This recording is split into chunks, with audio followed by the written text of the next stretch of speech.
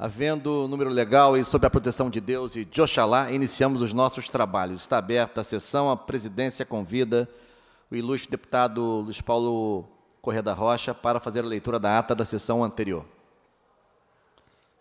Senhor presidente, deputado Valdec Carneiro, a ata reflete com exatidão o ocorrido na centésima terceira sessão ordinária, que iniciada às 14 horas, encerrou-se às 16 horas e 22 minutos.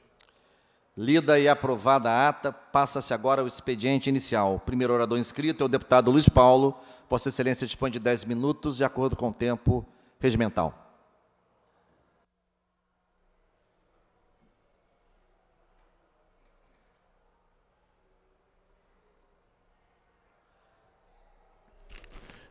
Senhor presidente, deputado Valdec Carneiro, senhoras e senhores deputados que nos assistem de forma presencial ou remota, senhores telespectadores da TV Alerja, senhora intérprete da linguagem de Libras, que leva a nossa voz aos deficientes auditivos. Senhor presidente, nos últimos dias tem sido muito comum a gente abrir o expediente inicial com uma nota de pêsames com tristeza. Semana passada foi a nossa grande cantora Gal Costa.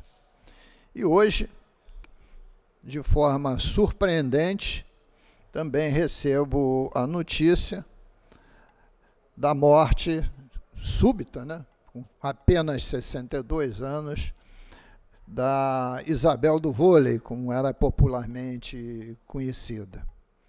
E fiquei perplexo, porque há 48 horas atrás eu tinha lido uma outra notícia que ela tinha sido chamada para o governo de transição na área de esporte, por toda a experiência que ela possui e também pelo seu posicionamento ideológico.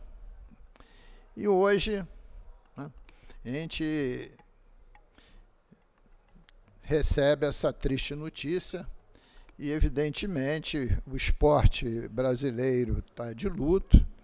A gente envia as condolências aos familiares e amigos por mais essa perda significativa para o nosso país. Aliás, deputado Valdeir Carneiro, depois vou lhe repassar, porque ontem eu fiquei muito satisfeito.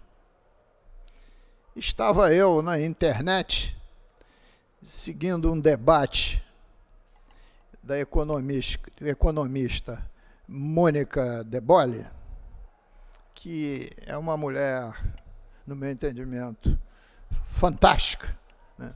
quer seja do seu ponto de vista da compreensão política, quer do seu ponto de vista dos fundamentos econômicos.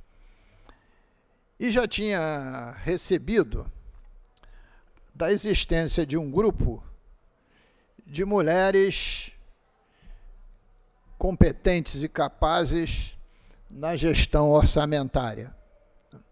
Um grupo que só faz crescer se iniciou aqui com mais de.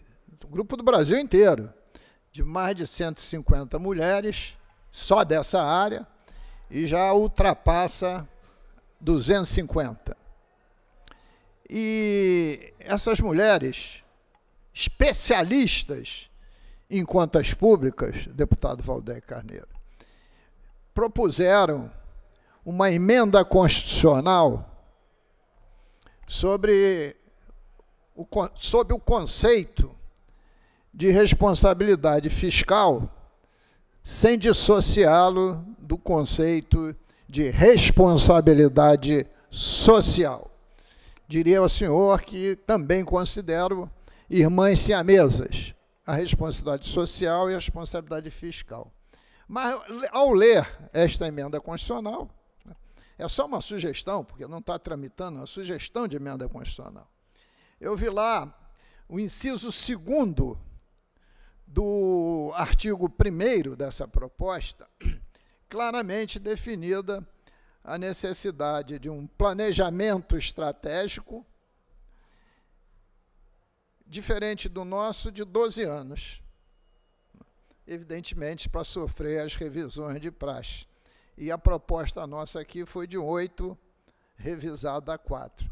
Mas eu achei muito feliz, e essa pessoa que me mandou, eu reproduzi encaminhando a emenda constitucional nossa, mostrando que o Brasil e os responsáveis gestores do orçamento público vem essa questão do planejamento de forma muito estratégica. Então, evidentemente, como esse tem sido o nosso debate aqui no parlamento, diria até que nos últimos três, quatro anos, né, me pareceu uma notícia positiva, para contrapor tantas e tantas notícias negativas que ocorreram aos quilos, inclusive no dia de ontem. Uma outra notícia positiva, deputado Valdec Carneiro, porque a gente precisa também olhar o futuro né, e não ficar preso ao passado, foi uma matéria do jornal O Globo anunciando investimentos na ordem aí de uns 15 bilhões de reais na área de telecomunicações devido à adoção da tecnologia 5G. Além do que isso representa a tecnologia 5G, né, para o avanço da ciência, né, para avanço é, das formas de comunicação e produção, também é importante sob o ponto de vista do viés tributário. Sabe, Vossa Excelência, que comunicação foi considerado pelo ministro Barroso, junto com energia, bem essencial. E, como tal, vai passar a ter, uma decisão do ministro Barroso, a partir de 2024, a alíquota não superior a 18%. Não estou falando da lei, da, da, lei complementar do Bolsonaro, não. Estou falando da decisão do Barroso. Né? E os estados brasileiros, em especial o Rio de Janeiro, têm alíquota para comunicação superior a 30 pontos percentuais. Uma perda gigantesca. Mas, ao mesmo tempo, se você aperfeiçoa a tecnologia, né, evidentemente, com múltiplas outras possibilidades de utilização. Você aumenta também o consumo. E aumentando o consumo, evidentemente também aumenta a arrecadação. Também queria dizer de por, por que motivo de satisfação. A gente teve a clarividência aqui nessa casa, depois de uma reunião do Fórum de Desenvolvimento Econômico, aqui da LERJ, propor um projeto de lei né, para que os municípios pudessem agilizar todos os seus processos de utilização em perímetro urbano, no, no, no que concerne ao uso do solo, a tecnologia 5G. Né? Então, mais uma vez, mostrando que a gente também atuou aqui no parlamento em alguns processos como vanguarda. E concluindo, senhor presidente, nas notícias tristes, voltando a ela, né, verificamos que a ponte Rio-Niterói foi abalroada por um navio que rebentou as suas âncoras e estava fundeada na Bahia há mais de seis anos. E nós tivemos também na, na vanguarda desse processo discussões profundas sobre esse tema. Lembro-me fizemos uma grande audiência pública, onde foi tratado, e eu uso mais o termo desmantelamento, das embarcações e plataformas que acabarão a vida útil das concessionárias de petróleo e gás, que é um problema é, ambiental gravíssimo, né? e tem custos para fazer isso, e tem retorno também. E naquela audiência pública, ao mesmo tempo, discutimos o cemitério de navios que é a Baía de Guanabara. E cobramos, evidentemente, um caminho de solução. Mas, como é constante desse país, ninguém age antes da desgraça acontecer. Felizmente, a forma como a embarcação abarroou dois vãos da ponte Niterói não promoveu uma catástrofe, mas poderia ter promovido. E aí tem uma série de responsabilidades cruzadas. Tem a responsabilidade da capitania dos portos, que é ligada à nossa marinha, e ela tem que cuidar dessa legalidade. Tem a responsabilidade do que atraca e não atraca aqui no Porto do Rio de Janeiro da Companhia Docas. Tem a responsabilidade do IBAMA, que nos últimos anos o presidente da República botou ele de molho sem funcionar. E tem também a responsabilidade do INEA. E de uma forma indireta, todos os municípios lindeiros à Baía de Guanabara. Né? Porque podem sofrer pelo sinistro, mas também o sinistro como na ponte, mas também pelos sinistros ambientais. Então esse é um tema que tem que se buscar solução. Ah, mas os nossos estaleiros podem não estar preparados para isso. Duvido que um estaleiro que esteja em Singapura, capaz de cortar, desmantelar um navio, que os estaleiros do nosso país também não tenham a mesma capacidade. Ah, vai ter custo para algumas embarcações? Sim. A grande maioria não tem mais nada que preste. Mas tem outras embarcações, como por exemplo essa, se fosse desmantelada na época devida, pode as despesas e as receitas pelo menos empatarem. Foi essa a nossa discussão na audiência pública. E esse é um tema que passou a entrar na ordem do dia. Né?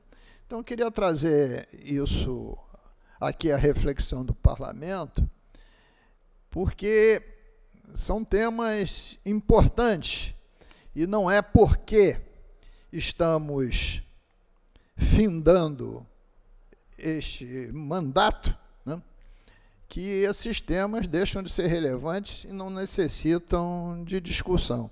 E por último, senhor presidente, porque a cada 15 minutos a notícia pode mudar, nós já temos três pessoas do Estado do Rio de Janeiro, habilitadas técnica e politicamente, no grupo de transição.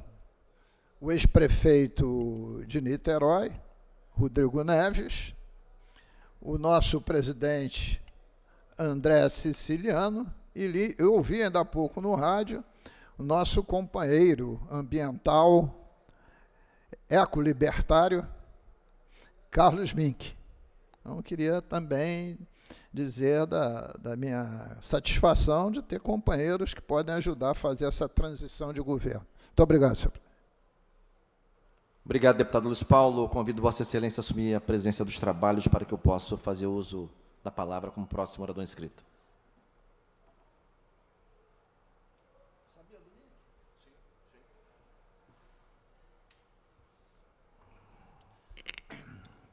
Próximo orador escrito é o nobre deputado Valdec Carneiro. Vossa Excelência dispõe de dez minutos. Obrigado, deputado Luiz Paulo, que preside o nosso expediente final agora, cidadãos e cidadãs que nos assistem pela TV Alert, nos seguem pelas redes sociais. é, imprensa e servidores e servidoras desta casa, e uma saudação e agradecimento especial ao nosso intérprete da língua brasileira de sinais. Deputado Luiz Paulo acrescentaria essa lista outros nomes que foram divulgados ainda mais recentemente. É, é, Marcelo Freixo, na área do turismo. A Antônia Pellegrino, aliás, é, companheira do Marcelo Freixo, na área da comunicação. É, o Adidamus, na área de Justiça e Segurança Pública. E Celso Panceira, que foi ministro e indicado para a área de Ciência e Tecnologia. Então, salvo engano, já são sete né, os nomes do Rio de Janeiro. Bem, eh, deputado Luiz Paulo, eu também queria, como Vossa Excelência fez, como fizemos, infelizmente, na semana passada, eh, fazer esse registro muito pesaroso eh, pela morte surpreendente, súbita, inesperada da Isabel Salgado, a Isabel do vôlei. Grande atleta brasileira, acho que um grande nome da história do voleibol feminino de todos os tempos no Brasil.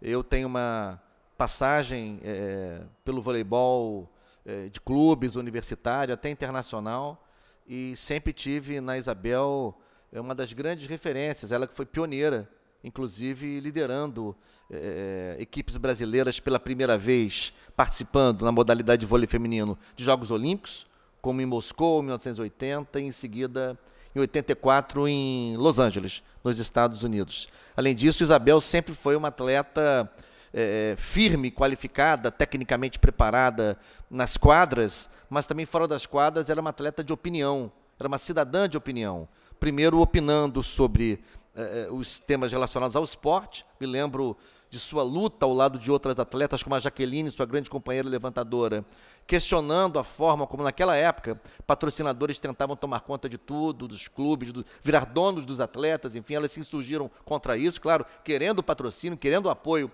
para que as equipes se organizassem, mas não querendo ser propriedades, não querendo ser mercadorias na mão desses, desses, desses patrocinadores. Além disso, Isabel foi também uma pioneira entre as atletas de vôlei feminino no Brasil a atuar no exterior. Em 1980 atuou em Modena, na Itália, portanto, é uma trajetória muito valorosa.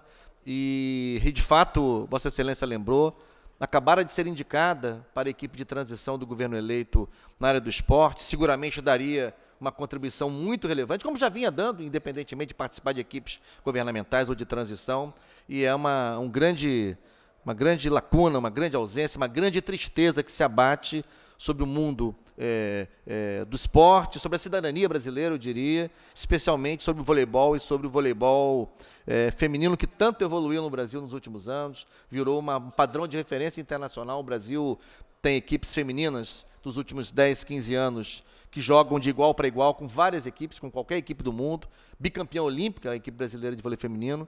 Então, é, fazer esse registro de como tudo isso é, é, tem a marca da trajetória e do legado de Isabel é, do vôlei, é, como sempre foi conhecida, como se tornou conhecida. Em segundo lugar, eu queria, deputado Luiz Paulo, fazer é, também uma menção na forma de denúncia a um episódio é, lamentável, Vossa Excelência talvez tenha tomado conhecimento, é, é que foi é, é, o afastamento do servidor Rodrigo de Saneto, servidor do Arquivo Nacional, portanto, servidor federal, que foi afastado de suas funções no dia 9 de novembro, depois que ele reproduziu no site do projeto no qual ele trabalhava dentro do Arquivo Nacional é, é, há mais de 10 anos, o projeto Memórias Reveladas, bom, é um, é um arquivo, né? Um arquivo lida com a memória, não é?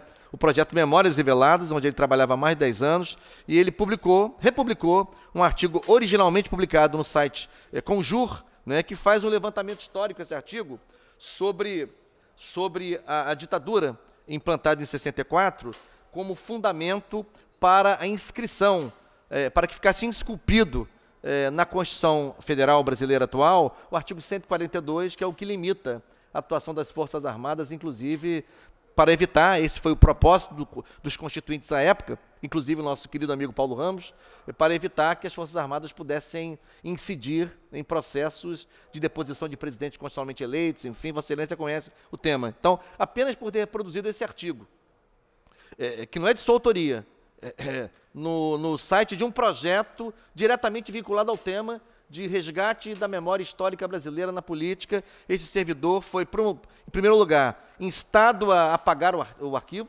né, a suprimir o arquivo, o que fez, e em seguida foi afastado de suas funções. É preciso apurar, denunciar. É, um, esse, esse, esse governo de trevas autoritário vai acabar, mas não sei qual será a situação do servidor até 1 de janeiro do ano que vem, quando o novo governo assume, mas quero aqui, do, da tribuna da LERJ, fazer esta denúncia, solicitar apuração, solicitar que ele seja é, é, devolvido, restituído, por assim dizer, às suas funções, é, é, e que o novo governo respeite e certamente respeitará o papel do Arquivo Nacional de preservar a memória eh, brasileira, a memória documental brasileira, memória histórica brasileira, qualquer que seja o conteúdo dessa memória.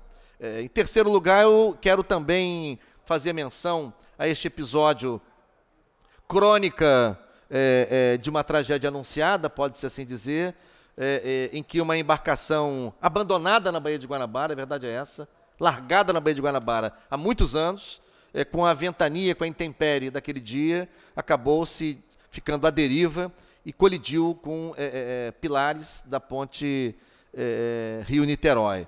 Ora, isso remete ao tema que Vossa Excelência trouxe, isso remete, é bom dizer e por justiça dizer, a esforços que a Assembleia Legislativa desencadeou, debatendo o tema, denunciando as centenas de embarcações abandonadas na Baía de Guanabara, fundeadas na Baía de Guanabara. Discutimos aqui, inclusive, aqui uma, uma taxa de fundeio, foi objeto de uma audiência pública, inclusive, a, a, criação de uma taxa de fundeio para essas embarcações. Na verdade, há mais do que isso, né? As jornalistas que cobrem o tema que dão conta de que é uma verdadeira máfia né, nessas embarcações. Ali é um terreno onde ninguém pisa, onde o Estado não tem controle, acontecem coisas aparentemente do arco da velha, coisas ligadas ao crime, coisas, coisas delituosas. Então é, é muito sério e é preciso apurar, de fato, o que significa nós termos pertinho do Porto do Rio um dos maiores portos do Brasil, essa quantidade de embarcações abandonadas é, é, uma questão sanitária, é uma questão ambiental, é uma questão de segurança, é uma questão econômica, e, portanto, fica aqui o nosso registro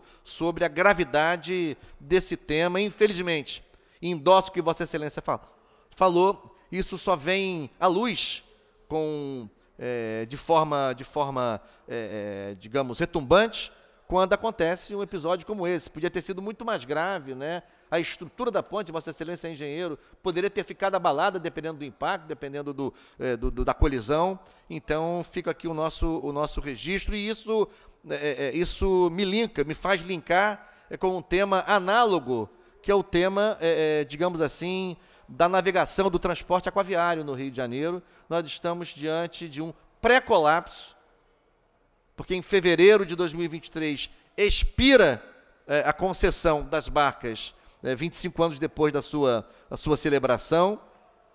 A concessionária já anunciou aos quatro ventos que não pretende continuar, já está querendo devolver antes do tempo, entrou na justiça até para devolver a concessão antes do tempo. O governo do Estado, até o presente momento, é, não tem um plano de contingência, não tem um plano B, se tem, não apresentou em lugar nenhum. A licitação está longe de ser o edital de licitação está longe de ser publicado, porque ainda há um processo de modelagem do edital em curso, depois de vários atropelamentos e trapalhadas. Então, nós temos aqui uma frente parlamentar atuante do transporte aquaviário, e essa semana conversei com o Flávio Serafini, companheiro da frente, que preside a frente, inclusive. Nós precisamos voltar a fazer alguma coisa, fazer talvez até o final do ano, Luiz Paulo. Contamos com Vossa Excelência nesse sentido, uma audiência pública robusta, para mais, que mais não seja informar a população do Rio de Janeiro e, sobretudo, aos usuários de barcas, o risco que corre. Vossa, Vossa Excelência pode imaginar o significado de não termos o transporte aquaviário a partir de fevereiro de 2023 para centenas de milhares de pessoas que fazem esse trajeto diariamente, sobretudo no eixo é, Niterói-Rio, Rio-Niterói, mas também Paquetá, mas também Ilha do Governador, mas também na Baía da Ilha Grande, enfim, então queria fazer esse registro. E por último, eu queria, é, eu queria repercutir e vou tentar fazê-lo com mais tempo é, no expediente final hoje, uma boa entrevista, uma boa entrevista concedida é, é, pelo ex-ministro José Henrique Paim, ex-ministro da Educação do Brasil, ao programa Conexão da Globo News, em que trata de algumas das questões, segundo ele, muito estruturantes em relação aos desafios da educação brasileira. Eu tenho falado sobre isso aqui o tempo todo, mas, primeiramente, ele Aqui farei um resumo na, no expediente final, detalharei. Primeiramente, ele fala dos dois aspectos macroestruturantes, ele se refere à necessidade de que o Ministério da Educação volte a ter um olhar sistêmico sobre a educação brasileira, vale dizer, o Ministério da Educação precisa levar em conta suas responsabilidades. Da educação infantil, Luiz Paulo, a pós-graduação. Né? Todos os níveis e etapas da educação brasileira e, ao mesmo tempo, levar em conta também o segundo aspecto macroestruturante, a diretriz principal em vigor no Brasil, porém abandonada, a rigor abandonada por Temer e Bolsonaro, que é a diretriz fixada por uma lei federal, a 13.005 de 2014, que é a lei que instituiu o Plano Nacional de Educação, com 20 grandes metas, e esta lei está vigente, já que é um plano decenal, até é, é, junho de 2024. A partir daí, é, declinadas essas duas preocupações macroestruturais, o caráter sistêmico da atuação do Ministério e o Plano Nacional de Educação.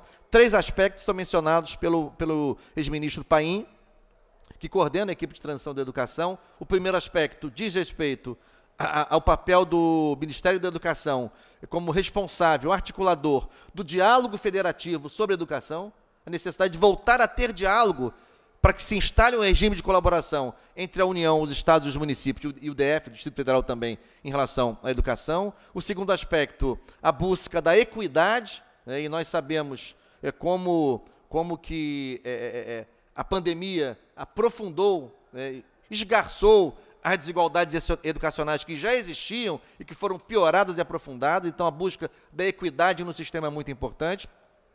Em terceiro lugar, levando em conta o contexto de aumento da fome, da pobreza, da, da extrema pobreza e da miséria no Brasil, é, dar centralidade aos programas de alimentação escolar, é, não apenas a questão do per capita da merenda, que está defasada há mais de cinco anos, como também acionar redes colaborativas que envolvem que envolvem, por exemplo, conselhos e faculdades de nutrição, que envolvem, por exemplo, movimentos da agroecologia, movimentos de agricultores familiares, movimentos sociais que atuam no campo da produção de alimentos é, saudáveis, fortalecer órgãos colegiados que atuam nessa área, como conselho, é, conselhos de alimentação escolar do sistema de ensino. Então, eu quero, no expediente final, tendo tempo, detalhar um pouco mais sobre esse importante, é, essa importante manifestação feita por José Henrique Paim recentemente em canal a cabo de grande, de grande enfim, visibilidade e público. Obrigado. Em não havendo mais oradores inscritos, está suspensa a sessão. Retornaremos às 15 horas com a ordem do dia.